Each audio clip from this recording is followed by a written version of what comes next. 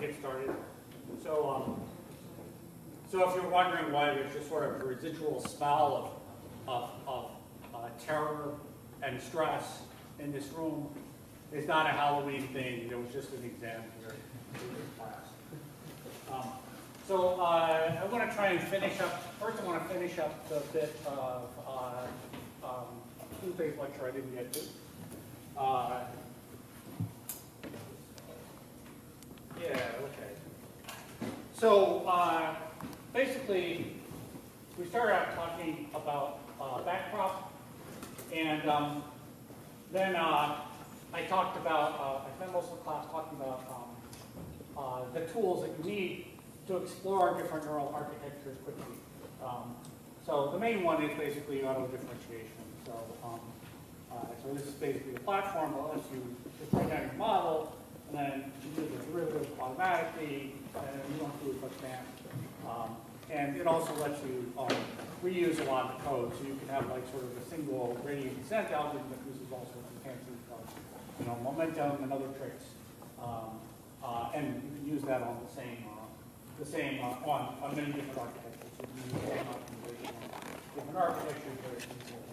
Now, we kind of talk, talk quickly through one sample architecture, uh, the LSTM. Um, so uh, in the LSTM, we have this relatively complicated model. There's a, there's a component that, uh, that repeats over and over again, uh, and that component is usually you know, different pieces of, uh, of sequential input. And inside this, there are various steps, each of which is um, realized by some sort of mathematical matrix operation, which you can differentiate. So conceptually, there's this memory that kind of gets passed through the, um, the whole system. You decide what to forget, you decide what to insert. Um, uh, you, uh, you decide how you're going to take that combined value and uh, combine it with um, your, your next input. So you end up with several equations here, none of which are all that intimidating, but they're all basically uh, doing various things with matrices. And you iterate this, these steps uh, many times uh, over the course of your sequence. Um, and that lets you do lots of different operations. So depending on how you configure this, you can sort of read one input and output a bunch of things with different uh, LSTM units that are just um, uh, uh, iterating without needing any more input. You can uh, read in several things and output one value, so you can sort of uh, produce some, some summary that's maybe gets run to a classifier, uh, and, and you can do other things as well. So this is an advantage, this is a, this is a, a description of one thing that you can do relatively easily using this kind of auto diff um, uh, uh, program. Uh, and you know, here's some examples. This is not built code. This is code that's generated from a statistical model. And it looks sort of reasonable. Uh, it will generate uh, comments. It's actually kind of amusing when you look at what this thing generates. So sometimes it'll actually generate the entire text of like, uh, you know, common open source license things like Apache. Uh, so uh, I guess the other thing we spent a bit of time talking about was kind of the details of um, uh, one particular uh, implementation. So this is kind of a lightweight, simple implementation that you guys are going to get a chance to understand. Um, so uh, since Tuesday, I updated some sample code as well. I know there's some questions about uh, Piazza. So, so here's, here's actually some sample code I'll show you. So um, I didn't write a learner. Um, instead, what I wrote is I wrote a couple of um, uh, simple optimization problems. So uh, one is you're basically sort of trying to optimize a house. So your house looks like this. There's a rectangle and a triangle. Um, and um, uh, you want to basically get the area close to some target. Um, and um, that's sort of under constraint. Um, but we're also going to try and keep the height close to some reasonable value. So the height would be like, say, close to like 8 feet. You know, it would be sort of like a reasonable height for a roof or something. Um, and then we've got another problem, which is like LSTMs, it's iterative. Uh, and you're doing the same, the same optimization task, it's just over a different structure. Uh, so um, we can kind of take a little bit of a look at what this would look like. Um, so, uh, so, so here's my, my code. I'll like kind of go through it top down. So um, first we pick a task. So you can either pick skyscraper, and you build a ten-story building, or you can do house. Um, and then you do the optimization. So the optimization, what I do is I create this object which kind of wraps around the expression manager. Um, you choose a number of epochs, you figure out what the Wengert list is, so you figure out what the sequence of operations you need to complete this, and you print them out. I guess I could actually show you what the output looks like.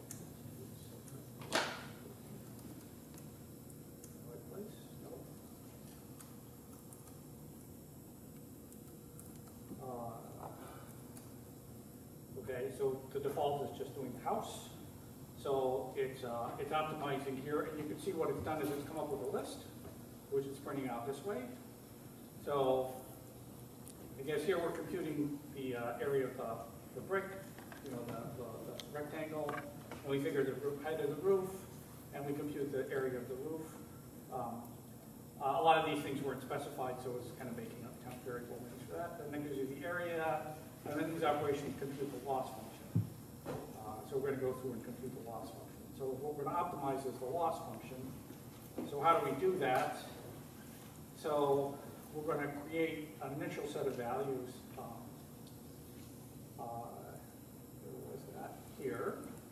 Okay, so we're going to start off with height and width of, uh, um, uh, let's say, five and 10. And the target area set up here as 200. Okay, and we have like, a- we have learning rates, And then we just go through our loop. So at each point, obviously, what we're going to do is we'll compute the gradient. So to compute the gradient with a Wengert list, first you go forward, then you go backwards. Okay, so first we evaluate it, and those values get stored in the dictionary, so there's one value for every variable in the list. Um, Then we um, compute the gradient, okay? Again, using the same operator sequence and the value dictionary, and this is sort of the starter for the dictionary of deltas, so we're gonna start off with the loss um, uh, at, at one. So that's a derivative of the loss with respect to itself. So that's that kind of base case. Um, And um, then we're gonna look at the things which are defined to be parameters, and we'll update them by just subtracting rate times the gradient. So that's, that's our optimization algorithm. And we can kind of take a look, um, I showed you some of these things, but here's, um, here's the implementation of the skyscraper. So you tell it how many floors you want, and it starts off, it builds an expression manager, it adds um, H and W, calls them parameters.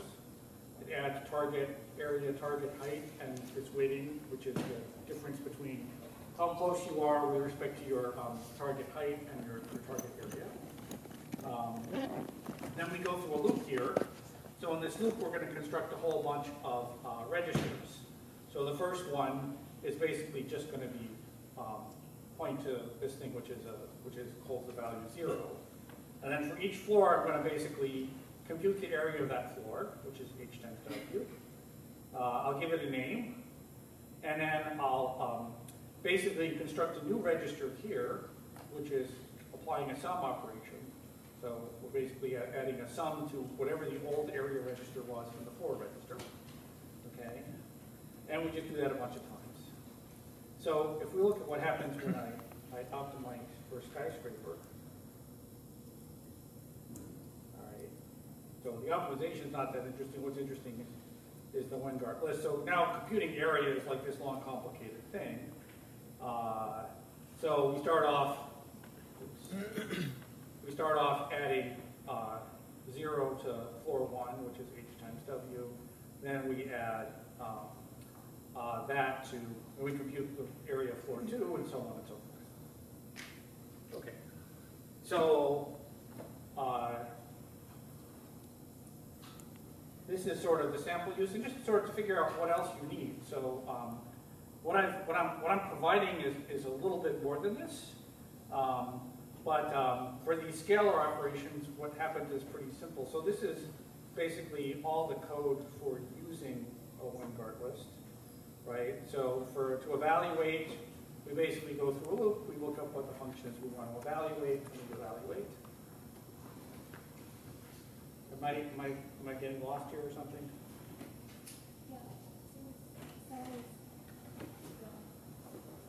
Technology. Well, this is not on, so that's probably not good. This, this is, but that's the one for the room, which should not be the problem. Is this one okay? Oh.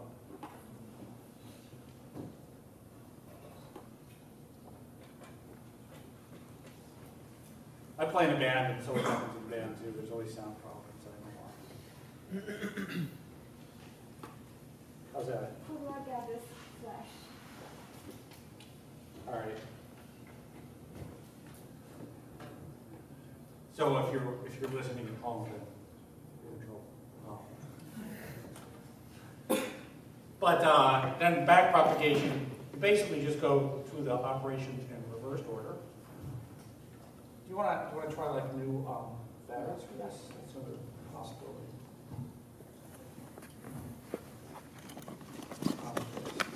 Um, go through reversed order and we look up the um, appropriate um, uh, uh, uh, derivative, and there's a derivative for each input, because you're basically going to push that error to each input of each step in the Wengert list. Um, So then, the other things we need to do is we have to define all our operators. So we've got a couple of tables, one that has all the functions of, all the derivative functions, one that has all the um, forward functions.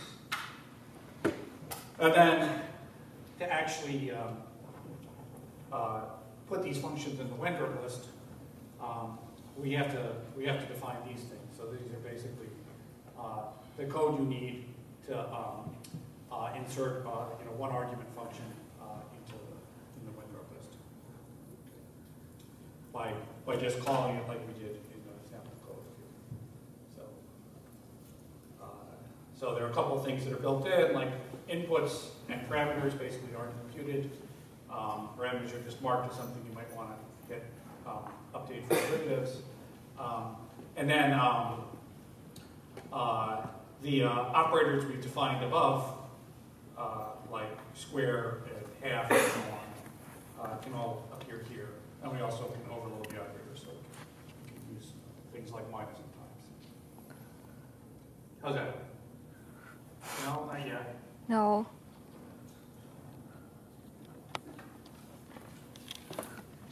No. I'm, I'm gonna, I'm gonna go on and and keep going. Okay. I won't get too far behind on the lecture. Uh, People just have to follow on as best they can, I guess.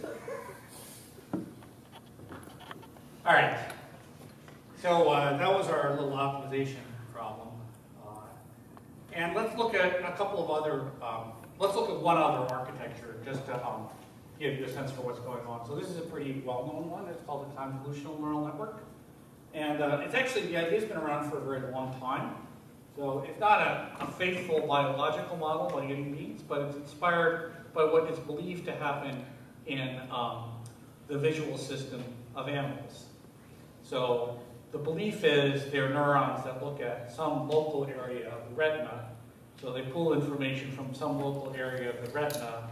And then at the next level, um, these things are also or organized or could be organized into a grid. And um, again, you're pull, taking things from a local area um, of, that, um, of that grid. Uh, and there are a couple of different operations that happen. Uh, one is called convolution, and one is called pooling. So pooling, for now, you can think of it just averaging. Convolutions you might know about, not know, about uh, as much. Um, so so here, here's a good example of a convolutional a convolution in its kind of full glory. Um, let's see if I can find this.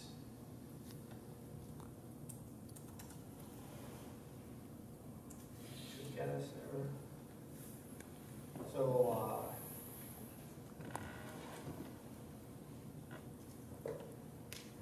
uh, I, I- like the little movie they have here uh, of convolutions. Um, So,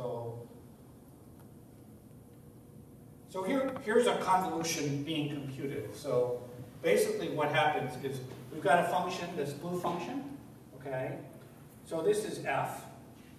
And then we take another function g. All right, so this g is basically just a little step function, just like f, uh, f is. And we take g and we sort of slide it along the x-axis.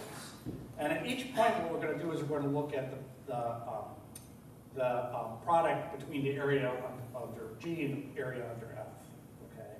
So, uh, and then we basically um, put that, that computed value down at that x coordinate. So, so initially, this guy doesn't overlap with F, and then when it gets to about this point, it starts overlapping, and so it gets larger, and larger, till there's perfect overlap here, and then it falls off. So this is a particular convolution, um, and what it does here is it, it looks like some sort of smoothing of that function. Here's another one, so here f is this spike, so it jumps up to one, and then gradually falls off, all right? And here we get a slightly different behavior. Again, we're sort of not, um, the convolution sort of isn't active until it gets close to that. And again, there's sort of a smoothing thing, but it's, it's moving a little differently because here f has a different shape. Um, so this is a one-dimensional convolution. That's a one-dimensional continuous convolution. Um, in convolutional neural networks, you look at something a little different. Generally, you're looking at um, uh, discrete convolutions in two dimensions. So here's some examples of discrete convolutions. So the idea is a little is somewhat similar here. Um, so uh, what we're going to do is we're going to take a little square uh, and we're going to apply it to a little corner of this um, image, and then we're going to move it all across the image. And what we're going to do with that little square is essentially we're going to compute the dot product of the numbers in that square with the pixels in that part of the image. So what happens? Well, here the, these are the numbers in the square, and you can sort of try this out if you want um, online. But um, this basically says, well, the final value you're going to get is going to be twice the value of the center square, all right, um, minus the value to the left and minus the value to the right. So if the center, square is bright and the ones to the immediately to the right and left are dimmer, then it will light up, otherwise it won't. So this is a little bit hard to see. Can you guys see that picture here? In the back, sort of? So um, what you should be seeing is you should be seeing some sort of faint vertical lines. Okay? So wherever in this image there's something that could be a vertical line, you'll see it sort of picked up here. Okay? Here's another one. So this is brightening. So, so one thing that's different is the, the sum. Here we've got 4 minus minus 1s and 1 plus 5. So overall, we're going to sort of lighten up the image. We're going to have higher values. Um, and here, what we're looking for is something that's bright, surrounded by things um, that are um, uh, darker above, below, left, and right. Okay? So this is now sort of a more general line detector or an edge detector. Okay? So it's looking for things that are, are, are different here. That, that, uh, that, that, uh, so it's basically looking for edges. Uh, and we could sort of mess things around a little bit more. So again, this might be a little hard to see. But uh, what's happening here is you're looking at uh, horizontal lines by looking for darkness above and below. So if you look carefully, you should be able to see uh, horizontal lines uh, and the vertical parts of you which are sort of faded out. Uh, and here are ones that are sort of diagonal, right? So you're looking, that should, that's a little brightening. It back. This one diagonal. This one's diagonal and brightening a little bit too. So uh, you want something that's really dark above and to the right and also dark to the, um, to the north and to the right, okay?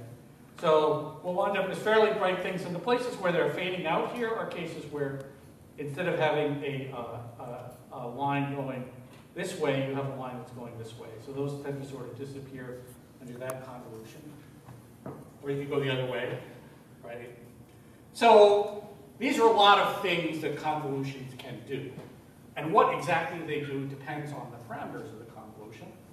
Um, but the basic idea is they extract different types of low-level features like edges and transitions. Uh, they can also look at bright spots and dark spots, so on and so forth. And all we need to generate all these different things is just different features in a convolution. So the first step in a convolutional neural network is to take the image and apply a convolution, or, or generally a bunch of different convolutions if we learn the parameters of. So how do you do that? So you do that by basically connecting hidden units in a particular way. So the hidden units for the image are basically, they correspond to pixels one to one. So you can think of those in a grid. The hidden unit, the units in the first hidden layer are also laid out in a grid. And each one is connected to a corresponding square on the, on the previous layer, okay? So this is kind of what the connectivity would look like, and it would just be repeated across the whole uh, network, right? And you'd have several of these, so we'd have a bunch of different convolutions. Uh, and uh, here's sort of an example of what this looks like. Uh, if I can get back to, oh no, that's not it. Sorry. One of the browser is much nicer. So this is, this is a little hard to do actually. It was easier uh,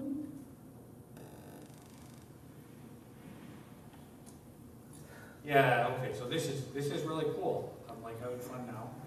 All right, so this is an image that I drew up here, a seven. And uh, we can sort of see, this is the first convolutional layer. So there's, I guess, six different convolutions here. You can sort of see how they're connected. So each one is connected to some particular local area underneath. Right, and you can sort of see they're picking out different things. So this one seems to be picking out diagonal lines. This one's picking up horizontal lines. This is picking out like maybe just a special kind of diagonal line, so it's, it's not getting the ones on the top, just the ones on the bottom. Another one that does kind of horizontal lines, right? So that's sort of the first level, okay? So the next thing we do is, uh, is downsampling, okay? So the next layer, basically you take these layers and you make them a little bit smaller. So again, we're taking a bunch of local, a local area here, and the output at this next level is, sometimes it's the max, sometimes it's the average of the things in the previous layer. All right, so now we've basically gotten a uh, somewhat smaller copy of each of these convolutions. And then we do another convolution, okay? So this next thing is going to be, uh, actually I take it back. These look like these are combinations of these. Uh, and then here's another layer where we're looking at convolutions. Okay, so these are some sort of uh, linear combination of several of these, these downsampled layers, and then we have another uh, convolutional layer. And then uh, we do another combination of these things, and then, you know, finally we basically have a hidden layer here. This is lots and lots of units, and then the, this is the output layer. Uh, so, uh, so this is what this particular convolutional network looks like.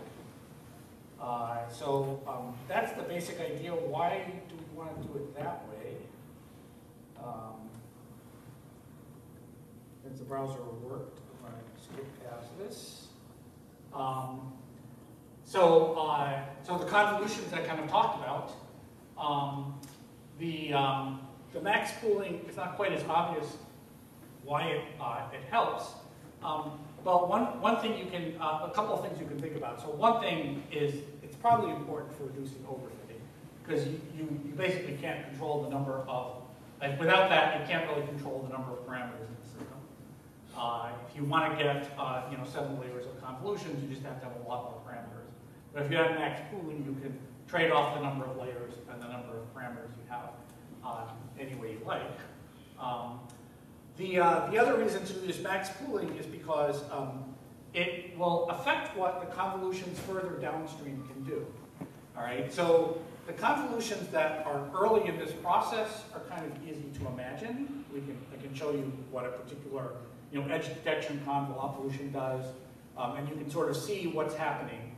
But those are looking at very low level, simple features, and they're features of just some small local area image. Uh, so what if you want a feature that covers a large part of the image?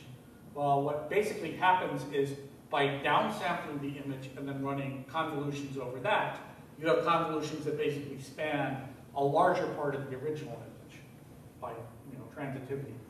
Uh, so um, this basically lets you look for larger features like long horizontal lines or large objects.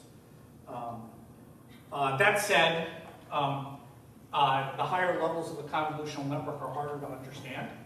So uh, uh, at usually a couple levels up, they get very sparse and floppy, so they're really picking up some sort of semantic property not some recognizable transformation of the image. Uh, and that's sort of at the point where you basically just say, well, I'm just going to sort of have a fully connected network further up and, uh, and just you know, treat it sort of as a classification problem. Um, one way you can look at these higher level features is to look at a particular unit and say, well, what are the inputs that give that unit the highest values, the most extreme values? So you can run your data set through it, um, and um, uh, when you run the data set through it, you can look for values where that neuron gives you a really strong signal, maybe close to one. Uh, and then you can basically backtrace through the convolutional network. You can look at the receptive field for that neuron and the receptive field for that, and project it back to the original image. And you know, this is an example of this kind of study, right? So these are, uh, each line here is a different uh, image or different unit. Okay, and this is five layers up in a, uh, a network. So the first one, most of the things it's picking up seem to be faces. Okay, the next one, maybe a little harder to, to guess, right? I mean, so like faces of dogs would be one approximation. But maybe what it's really looking at is looking for um, a bunch of dark things in a white background. And you know, three times out of five, those happen to be white dogs looking straight at the camera. But they could be other things too, right? And then this, this next row is picking out red blobby things, which might be flowers, might be a bowl of, I don't know, gazpacho. Um, and then, you know, this one down here seems to be um, picking up uh, uh, numbers, and the one down there seems to be picking up buildings. So uh, as you get higher up the network, you tend to get things that are a little bit more semantic, although often uh, they sort of correspond to, you know, some kind of mixed class, a bunch of different things like flowers and soup bowls that look similar. So that's uh, convolutional neural networks, and um, uh, they're computationally, what they compute, what the things they use are they're used for are really different from LSTMs. Um, but they're basically using the same underlying architectural tricks. You basically have a lot of differential, differentiable operations that are all cascaded together and loss function on top of that. So you can use a kind of similar set of tools for those. Are there any questions about this before I move on?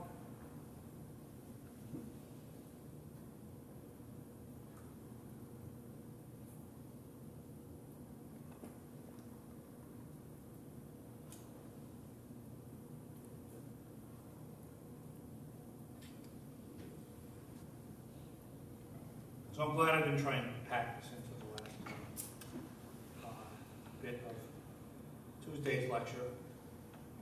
It take a little while to go. Um, So uh, now we're going to switch topics, and I'll go to what I really plan to talk about from the beginning here, which is, oh, where did it go? Randomized algorithms.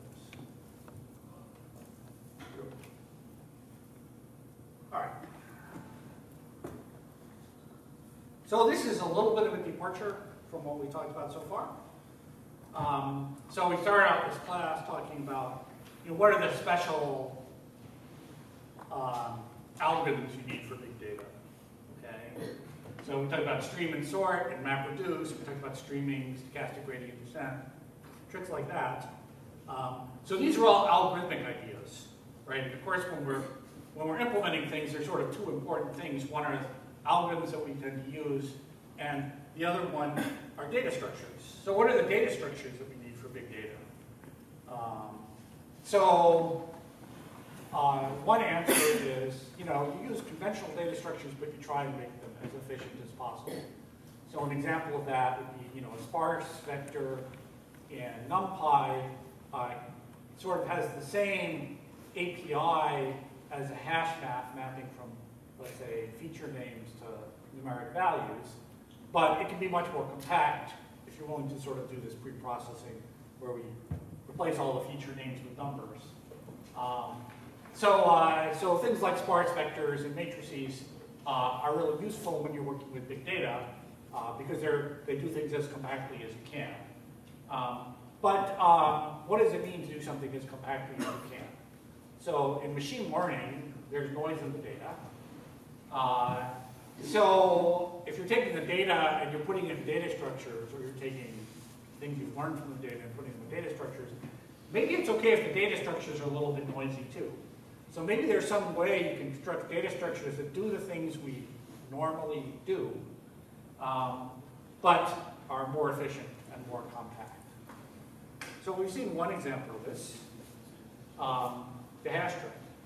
Okay, so uh, you know, essentially in a hash trick, the key idea is we have this data structure, and it's basically a hash table matching, matching, mapping feature names to parameter values. And um, the whole idea is we're going to do that in a way that is a little bit lossy, but um, uh, will be much faster and more compact. So you basically don't store the hash keys, keys that, and you allow collisions, and that will distort your data a little bit, so you now have kind of a noisy data structure. But it's, it's, it's okay. The learner downstream will pick up the slack. And sometimes you can exploit the fact that uh, you can uh, have a much more compact encoding. Uh, you can exploit that property to, say, add way, way more features. Um, so we saw some examples of that for personalization. So here, uh, basically, we uh, have not just one parameter for every word in a big corpus, which is sort of a lot already, but we have one parameter for every word user combination in the corpus that actually occurs. So we personalize the word features by basically uh, combining them with, the, um, with user IDs, all right? And that gives us a much, much bigger space uh, that you probably couldn't handle with a um, uh, conventional um, uh, you know, data structure. But, uh, but uh, since we've got so many more features, uh, we can, we can, uh, we can get better performance. Uh, so this is an example. There's actually another example of this, which I haven't talked about before, but this is um, classifying things into a large ontology, right? So we're taking objects and we're classifying them into, you know, 6, 575, 7,000 different um, classes. And here the idea is you're basically going to have one feature for every word in the corpus, again, conjoined with every class that there is. So there are lots and lots and lots of features. Um, uh, and we're just going to basically hash things down to some fixed size. Um, so uh, if uh, we hash it down to two gigabytes worth of space, we get 30% error for 600 classes, which isn't too bad. All right. And we can reduce the space if we want, and we'll pay a little bit, but you know, not a whole lot. Uh, okay. uh, and this is. Uh, all right, so um, so this is one idea. Okay. Uh, so what I'm going to talk about is um, a couple of other techniques. So these are these are randomized data structures and uh, the basic short story is there are lots of different ways that these end up being useful when you're processing large data sets and when you're learning from large data sets. I'll just give a little bit of a flavor for um, what you can do with them, but first let's kind of talk about what they are. So one is called, the simplest one is called the Bloom filter. Um, and before I talk about this, let's go back to that, that hash trick.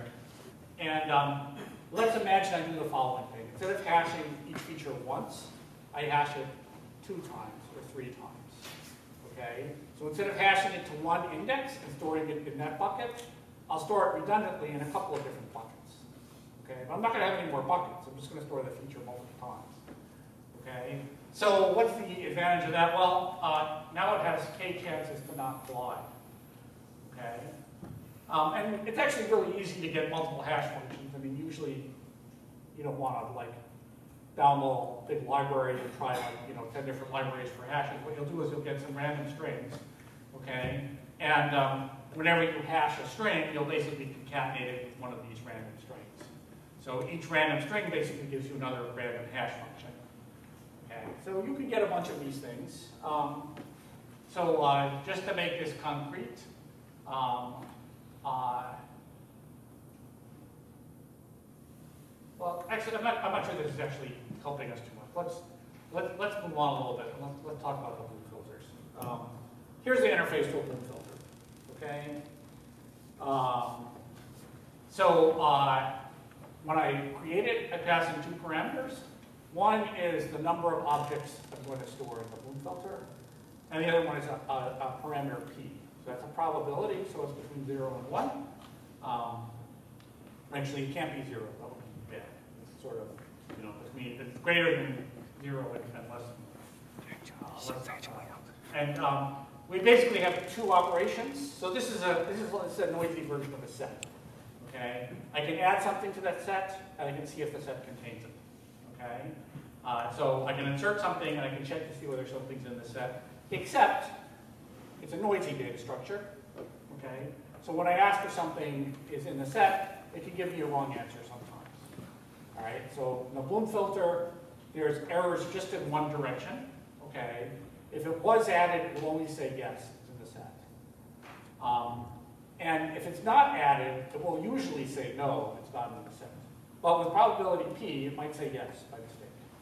Okay, so it has a, a known percentage of false positives, and that percentage of false positives is p, and never gives you a false negative. Okay, so all you can do with the set is test membership.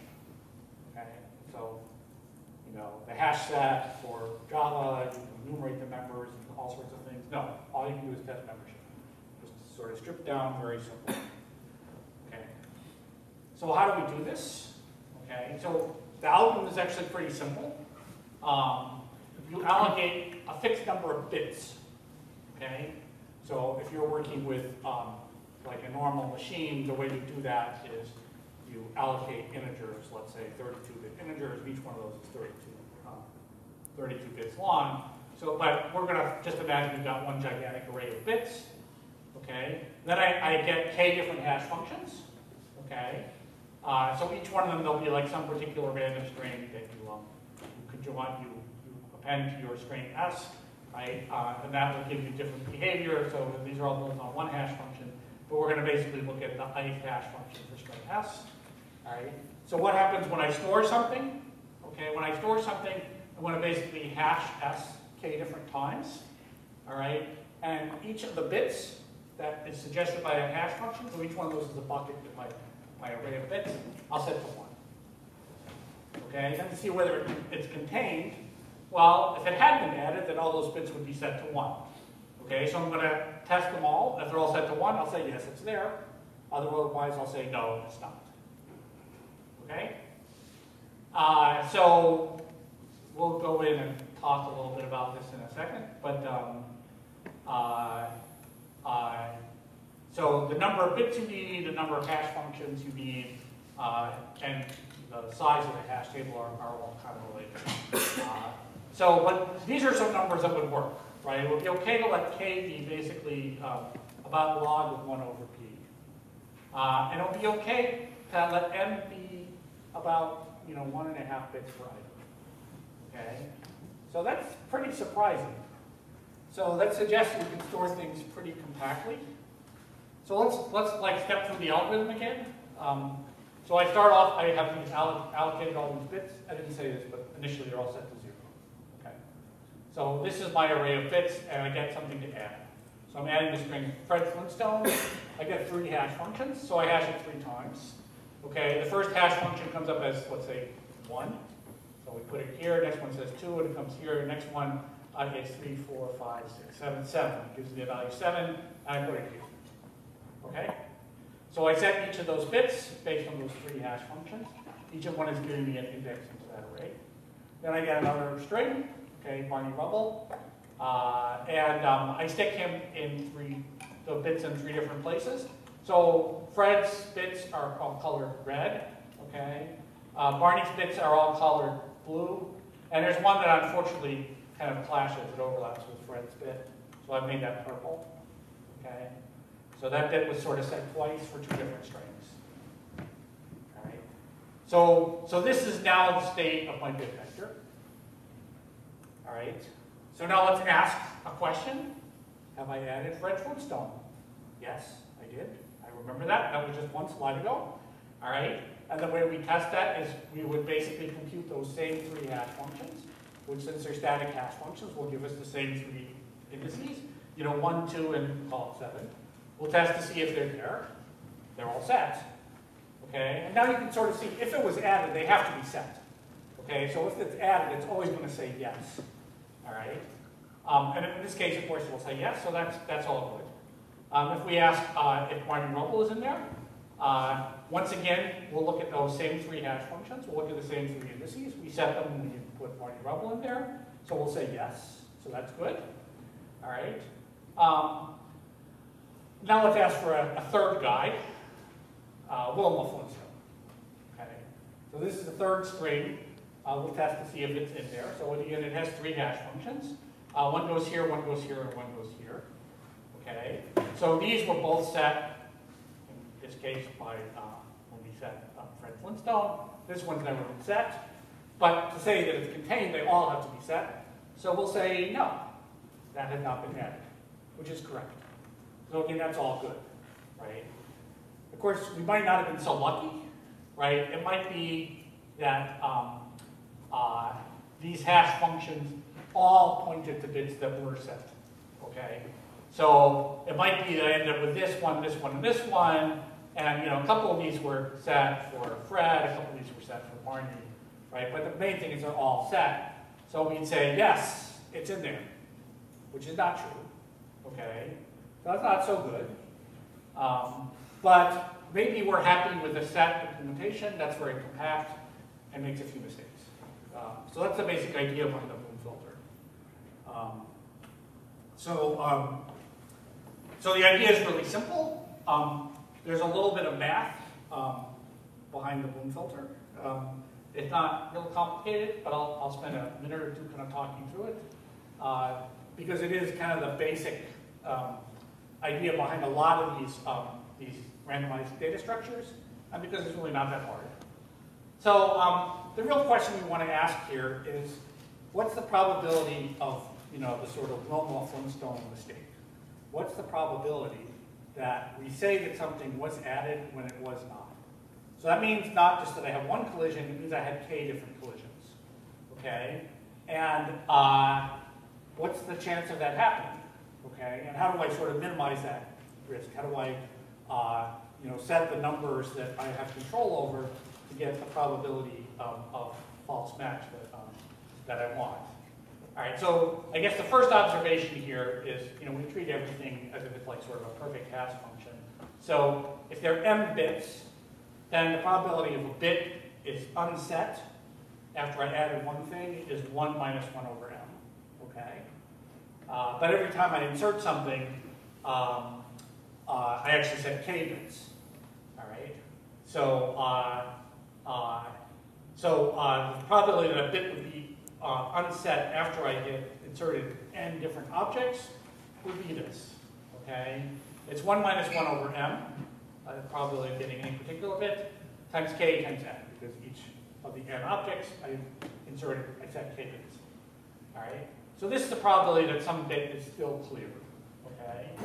So there's a collision exactly when um, uh, uh, it's not the case that all the k bits were set. Um, so, so what does that mean? So this is the probability that the bit was unset. This is the probability that uh, the bit was set. This is the probability that all k of the bits were set. Okay, so this is basically, you know, the probability of getting a collision. Um, and it turns out with one of these like sort of magic limits involving uh, e, uh, you can you can approximate this with 1 minus e to this quantity to the k. All right. So, so this is a function. So this is the probability of a collision. It's a function of the number of bits m, the number of things I've added n, and the number of hashes I'm using k. Right? So that's a function of those three variables. So one thing I could do is I can say, well, k is just sort of a totally arbitrary choice. It doesn't really have much, it may have maybe a little bit of effect on runtime because they have to hash more often. But what I really care is minimizing space. So um, I can choose k relatively easily. So let's just choose k to maximize, uh, I'm sorry, to minimize the probability of a collision, given that m and n are fixed. So I can basically do that minimization. right? Just take the derivative and figure out what the critical points are, and I get with something like this. Okay, so it's something like m divided by n times 0.7. Um, okay. So now I know what k should be, so I can plug that in. And now I just have a function of two values, m and n. All right. And in fact, I can I can solve the I can I can fix the, the, the situation as, as follows. Okay. So p is the probability of collision, right? That's that's one thing I care about. Uh, n is the number of things I'm going to insert. Maybe I can control that. Maybe I can't.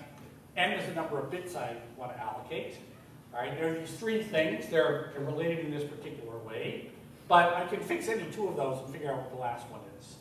Okay, so um, in my API for Bloom filter, I said what you would do is you take n, the number of things you're going to add.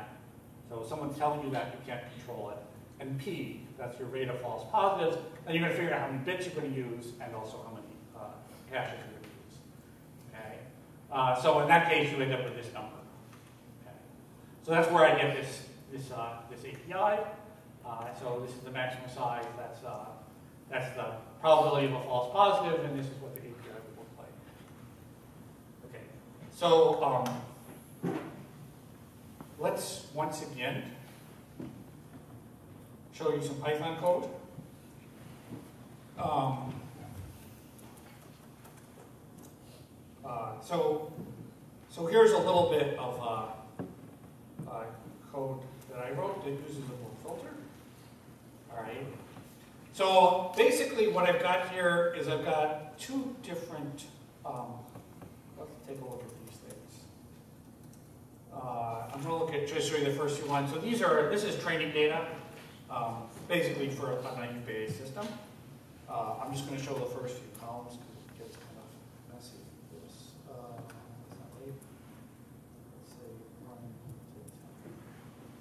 Yeah, okay. So here's the training data, and here's the test data. So we've got document ID, a class, and then a bunch of words that appear in the document, right? And um, these are distinct documents in training and test, because of course they have to be distinct documents.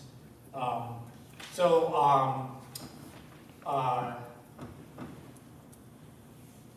so um, what I'm going to do in my code is I'm going to insert all the training documents in.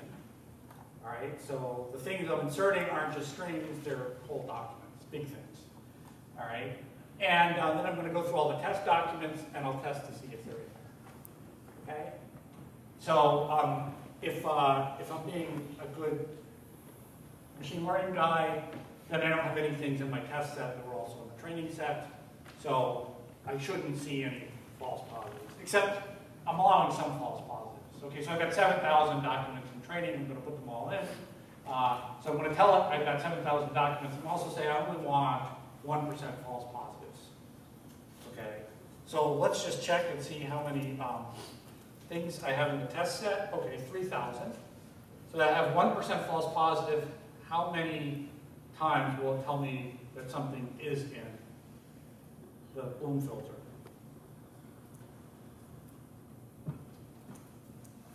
Anyone?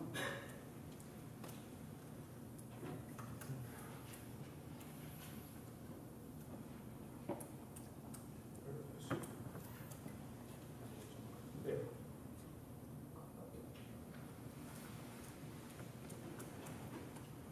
All right, so what's going to happen is I'm going to load it up with these 7,000 training examples, and the Bloom filter is set to only give me an incorrect answer 1% of the time.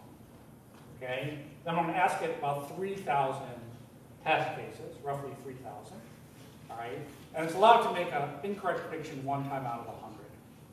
Okay? So how many incorrect predictions should it make on 3,000 examples? 1% of 3,000.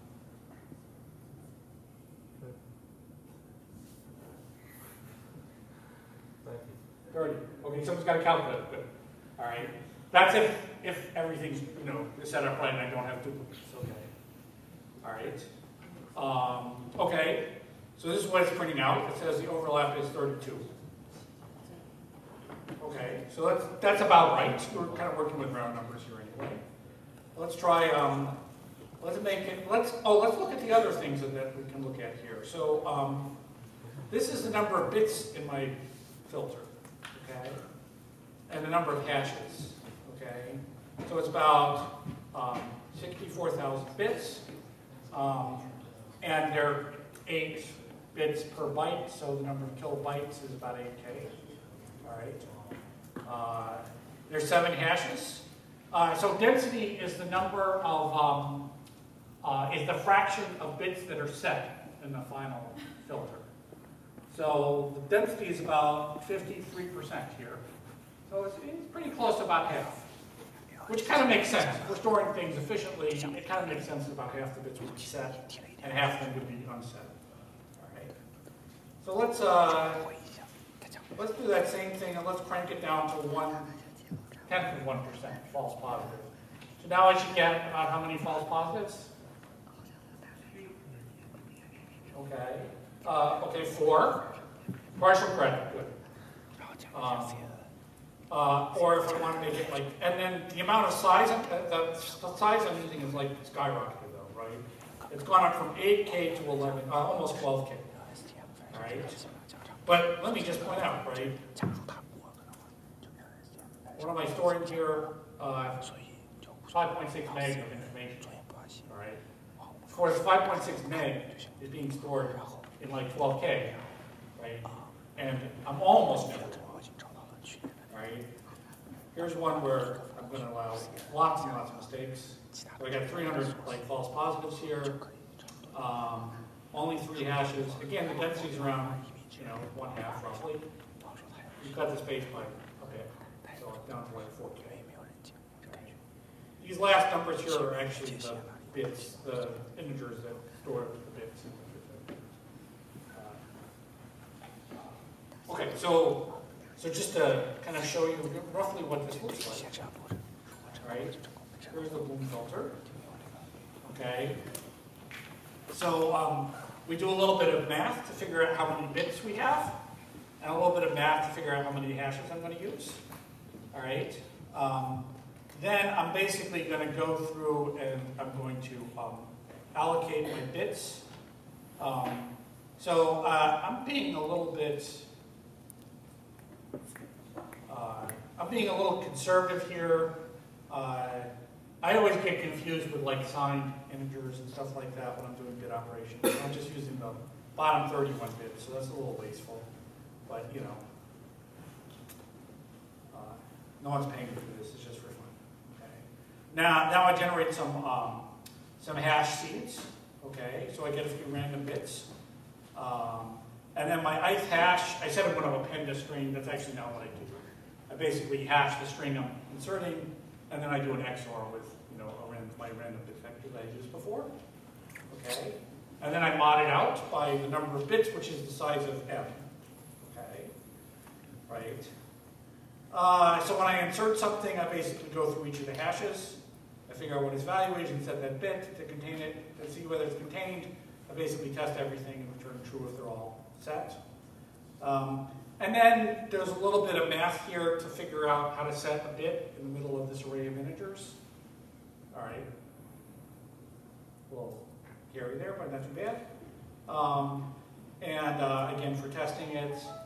And then this is finally just checking, computing the number of, the fraction of bits that are set in the, in the, uh, in the, in the Bloom filter. So that's the whole, all the code for it. All right. Very simple data structure.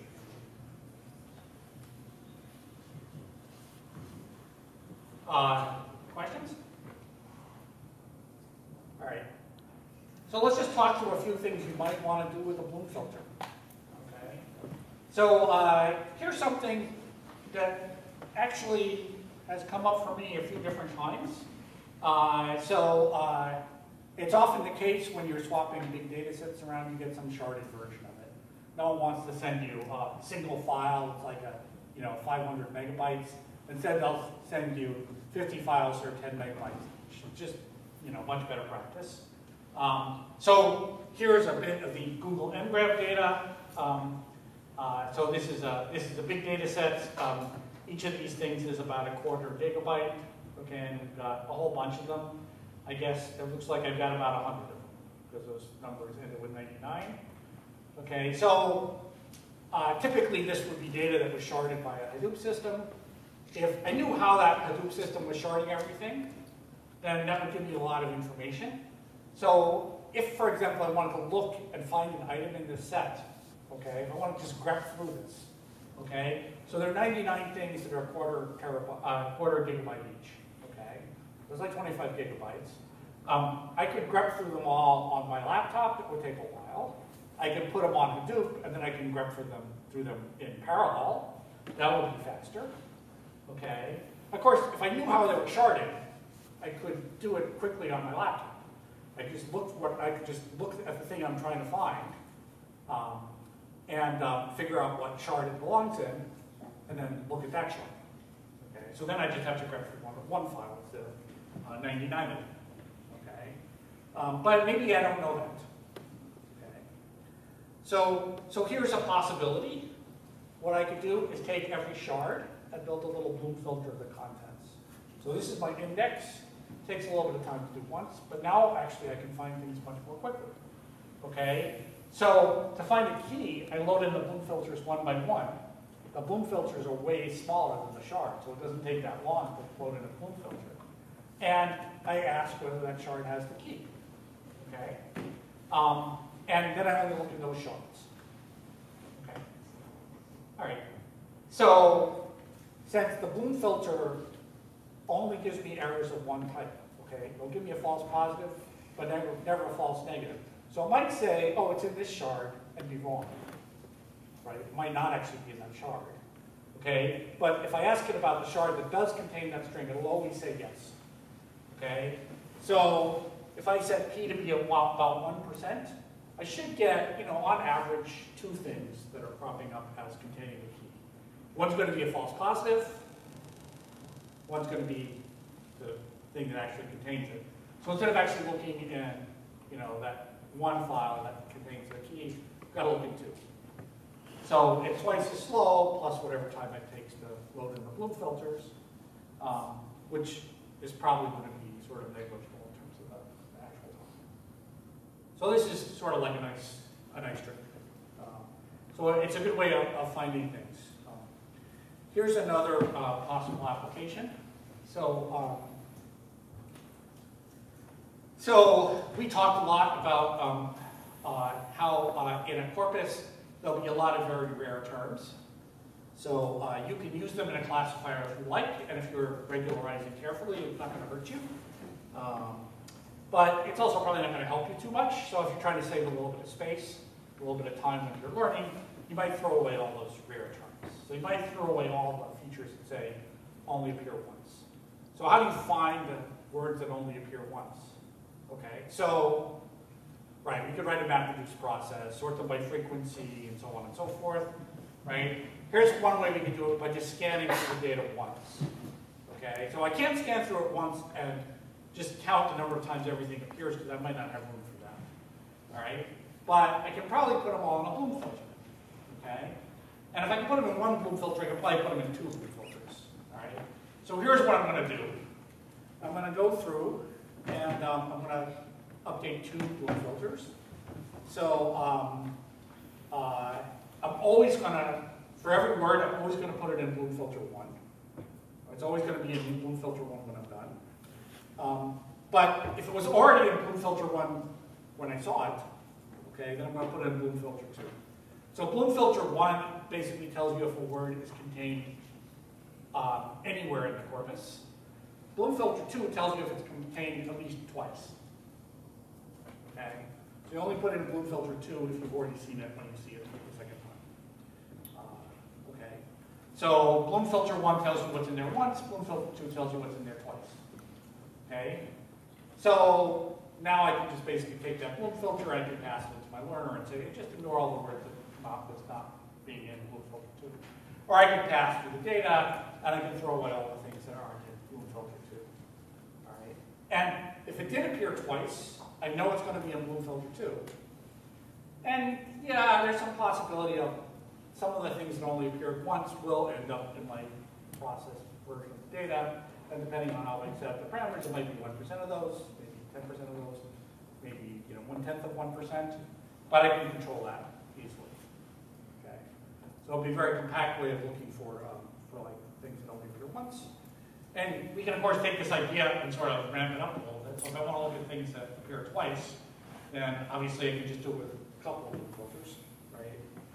So uh, the bloom filter one contains the word, then I'm going to check and see if bloom filter two contains it. That means it's already appeared twice, so I can put it in bloom filter three. So each one of these things tells you how often a bloom filter occurs, uh, word occurs. Um, and they max out. Um, okay. So questions about this?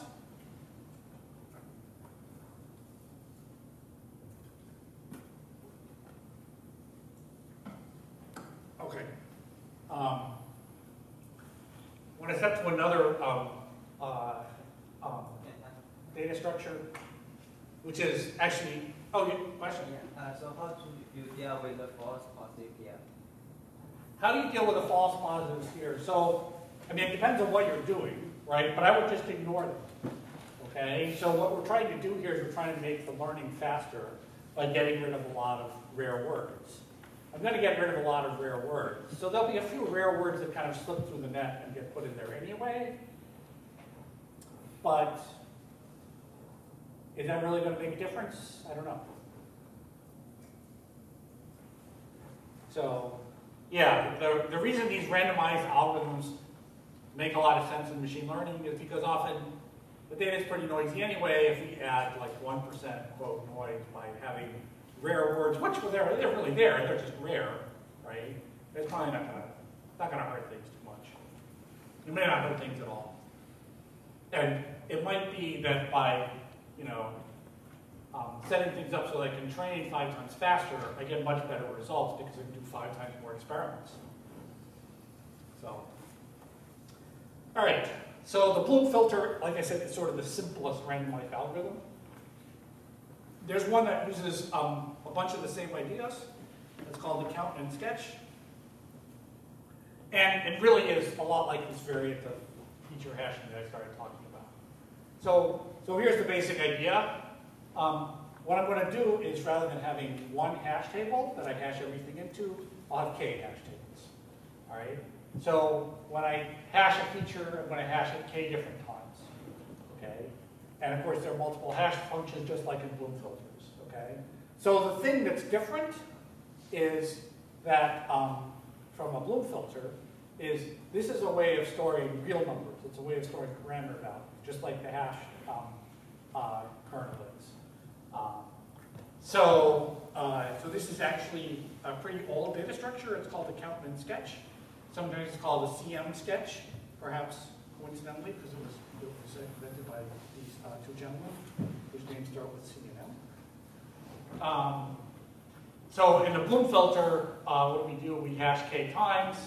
Um, we set a bit um, for each of the you know k buckets we've hashed to.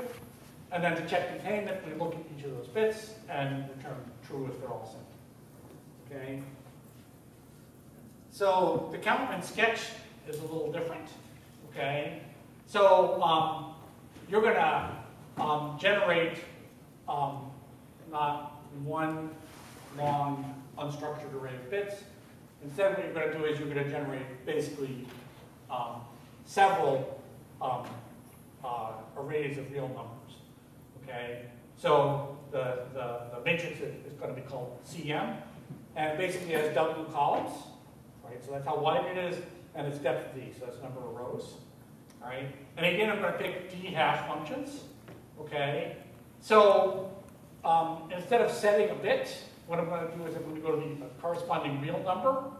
Okay, so uh, and each one of these um, each one of these hash functions basically has its own array, has its own row of things to store into. And I'll basically, if I want to store C, I'm going to increment that row by C. All right, and when I retrieve a value, I'll look at each of these, uh, each of those things, and I'll return the minimum of these, values. Okay, so the idea is kind of similar. So if you've collided on every different value, okay, on every one of your, your hash functions, then you're gonna return a number that's too large. Just like in Bloom filters, you return one, yes, it's in there, rather than zero, it's not. Okay? If there are no collisions, you return the right value, the correct value. Okay. Um, so I should also say what you're storing in here, it's not exactly, um, it's not exactly C, the value that's associated with the string S. Um, uh, basically, what you're doing is you're incrementing the value associated with S by some number C. So those numbers start out as zero, and then you increment them. All right. So, so this is this is for keeping a running tally of things, not for storing numbers and retrieving them and overwriting them. Okay. So, um, so there's a question here, but I'm actually just writing the answer. So if you just have one of these rows, this is just exactly the um, hash trick. Okay, so the hash trick is sort of a special case of a count sketch. Um, so, so here's what it looks like. Um, so uh, here's um, here's my matrix. Uh, yeah, so it's got four rows. All right. So normally the number of rows we have will be about 1 over delta, which is the probability of getting our wrong answer. One, one meaning, you know, way too big. Uh, and the width is something like 1 over epsilon, where epsilon is, you know, what I mean by way too big. All right? So uh, those things are going to be something we're going to set, you know, again, doing some math. Um, and each one of them, each, each thing has got a bunch of, has a real value stored in it. Okay? So I get some new value, I get a string, and I got a, a counter value. I want to I want to update my the value associated with that string by adding c. Okay, so each string is mapped to one bucket uh, on each row. Uh, so those are what the buckets might be for this one. All right, and um, when I'm looking things up, I'm going to basically just take the min of those. All right. Uh, okay. So um, what's the, uh, then when I'm storing things, uh, I will basically look at each of those things and I'll increment them by C. Okay, so I'll go from close.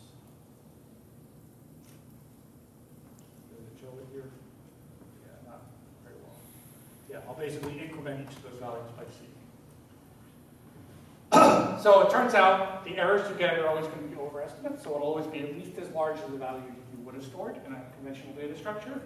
Um, and um, so the error is usually less than epsilon times this quantity here. So this is the sum of all the values that you stored in the past. Okay? So um, uh, it's less than the sum of all, the error will be less than the sum of all the values you have stored in the past, right, times epsilon. That's not so obvious. And the probability that it's going to be more than that is at most 1 minus delta. So delta is sort of the probability of an error, and now we have sort of this soft notion of an error rather than just a wrong answer. Okay. So, so this is kind of the math behind the count-min sketch, and you can sort of see it's very similar in sort of the basic ideas to a Bloom filter. Um, so one thing that's nice about both the Bloom filter and the count-min sketch um, so let's imagine I had a sketch and I stored like, you know, some numbers for string s in it. And then I had another sketch, a second sketch, and I stored numbers for string t. Okay? And then um, uh, I take those two sketches and I just add them component-wise, right? So each row here is the sum of the cars, each cell here is the sum of the corresponding cells in those two matrices. So what does that do? Okay. Um, so it turns out that this result is exactly the same as if I added S to the, this sketch and then added T to this sketch. Okay. So there's um, there's this nice linearity of things. If I wanted to, for example, uh, construct a Bloom filter that um, told me um, you know, all the, all the words that, uh, a pair of Bloom filters that uh, uh, told me all the things that appear twice in a corpus. And I could do it in parallel, right? So I could get 100 different Bloom filters that each looked at one, one, one percent of the corpus. And then I could take those Bloom filters and just add the bits, right? And that would be the same as if I ran the whole corpus through a single bloom filter. Right? And similarly here, I can you know, do the same thing with the count sketch. So these things are really nicely um, uh, adapted to, uh, easily adapted to um, parallel computation. So you can update sketches in parallel and then just combine them by adding them up. Um, you can also do a weighted sum of these count-min sketches. So if I wanted to basically have, you know, half this thing, you know, minus two times the other one, then um, I can also, you know, do that, that same operation. Um, So, um, so what's the, let me just, let me also tell you a little bit about the guarantees. Um, so, uh, so one result, and the kind of most famous one, is that um, the sum of all the values in the sketch times epsilon is with high probability an upper bound on how much you'll overestimate a value. Okay, so that doesn't actually sound that tight, because even if epsilon is very small, it might be that you're putting lots and lots of big numbers in, right? So that this this uh, this one norm of the, um, the, uh, the values you've stored um, might be too big. Okay. Um, but there are a lot of cases where it does work. So if we're, for example, estimating parameters for a multinomial, then the sum of all these values that I store would be one. So that's bounded. Um, if I'm storing uh, something like um, the probability of being in a class, or maybe you know a signal as to whether it is in a class, then usually a particular item won't be in that many classes. So again, that would be you know a bounded quantity. There are also some uh, slightly more complex um, uh, results. So um, it turns out uh, it's often the case, surprisingly often the case, that what you have is you're looking at um, uh, uh, data that's got a few really big counts and then a lot of smaller counts. Uh, so if you are, so the kind of standard um, uh, problem is called the heavy hitters problem. So you've got um, some data like you know the number of accesses to your website, and what you really want to do is you want to sort of scan through that and find a few really large things, right? The ones that are sort of access to your website the most, because that's going to be you know DDoS attacks you know somebody scraping the website against your terms of usage or something like that, right? So um, uh, it turns out if you've got a sketch um, where there are a few really large values um, and um, a small, a lot of really small values, then you can also get um, you can get a bound. And it's the same sort of argument I used informally when I was talking about the um, the hash kernel. So the probability that two large values are going to collide is very small because there are not that many of them. Um, and if you have a collision that involves two small values, you don't really care. And if you have a collision that involves a small value and a large value, again, you don't really care that much. It's not going to change the, the, um, uh, value so much. So you can also bound things based on uh, um, uh, any, um, any distribution over values where you basically have a lot of small values and sort of a, a, a, a concentrated small set of, of uh, large values. All right. So um, I'm going to take maybe five minutes to give you sort of a cool example of a Count-Min sketch. Um, so, uh, so this is this, uh, these experiments are based on uh, using Count-Min sketches um, to assess um, uh, this thing called um, semantic orientation. How many people know what that is? How many people have never heard of semantic orientation? It's different from sexual orientation. Totally different. It's basically positive, negative, right? So you're taking a term and you're trying to figure out if it has some sort of positive or negative uh, impact. Um, uh, so um, one way of doing that is um, looking at something called point-wise mutual information. So this is this little formula. So we've got two events, x and y. We want to find out if uh, how often x and y occur together versus how often they might occur if they were um, uh, independent. Right? So we're looking at, at basically this quantity. Um, and semantic orientation, sometimes you can assess by basically taking a bunch of positive words um, and looking at the point-wise information with those positive words and then subtracting off the point-wise information with some negative words. Um, so, uh, so this is just a little bit of an aside. So this kind of came from a paper like 15 years ago. Um, Peter Turney basically um, looked at semantic orientation with just two seeds, excellent and um, poor. Uh, so he looked at semantic orientation of phrases relative to those two seeds using a really big corpus. And got some uh, surprisingly good results. So uh, these are um, phrases taken from uh, use of online banking services. This is the semantic orientation of each of these phrases.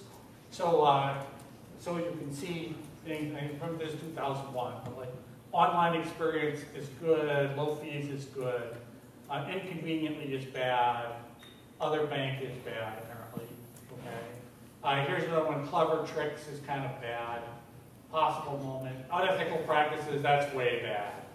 I think it's with Wells Fargo, Well funds, old man, that's obviously error, that should be positive, but sort of just difficult.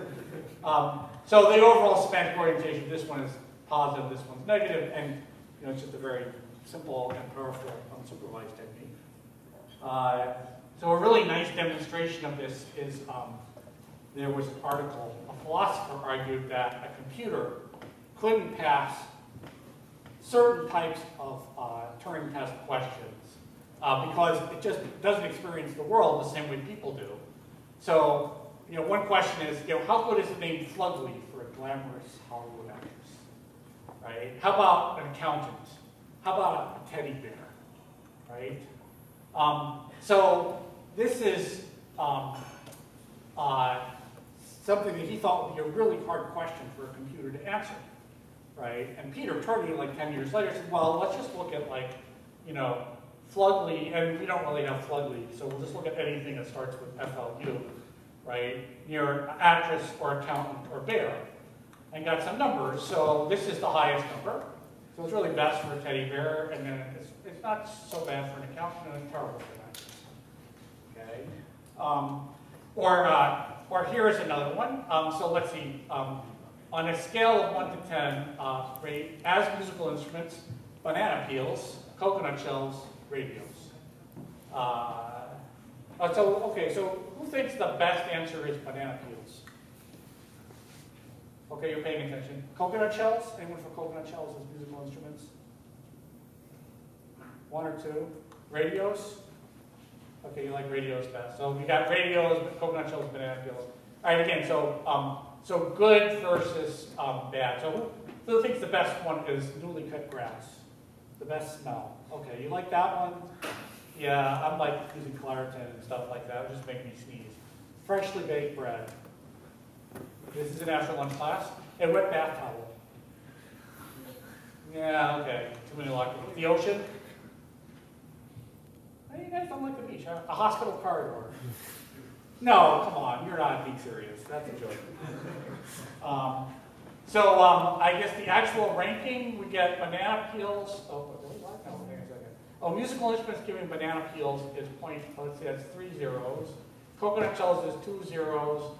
Uh, a radio is two zeros, but with a one after it. So coconut shells seem better than radios, but not too far from you guys. Um, and then we're looking at nice given newly cut grass versus these other things. All right, so um, so what's the ranking here? So um, uh, let's see. Um, the nicest thing here um, looks like newly cut grass and then fresh, freshly baked bread. Okay, those those are, are really pretty strongly nice, and then you know zeros for bad. Uh, and then there, there's no evidence, so we're not really sure. Here, the ocean is nicer than not, and a hospital corridor, we have like no evidence in this data set. But, um, yeah, so um, so this sort of corresponds to, to this kind of ranking of these guys, I guess. All right, so uh, so how can we use the count and sketch for this? Well, the problem is we've got to count all these, not just word counts, but occurrences of words near each other. Okay, and that's a lot of counters. Okay, so um, uh, these are some experiments where we looked at basically doing this over a big corpus. All right, so this is using two billion counters. Um, and uh, These are basically a couple of variants of the Count-Min sketch. So this is uh, exact, and this is the approximate value, and you're basically measuring the semantic orientation, uh, accuracy on a set of things that have known semantic orientation. So you can see this is actually pretty good, right? It's doing nearly as well, uh, but it's using many, many. So I'm going to stop here in just a minute or two over. Uh, I'll see you guys on Tuesday.